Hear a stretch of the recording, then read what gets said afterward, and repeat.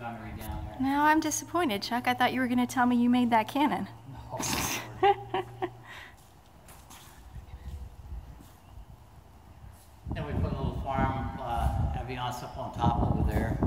I know, I saw that. I like that.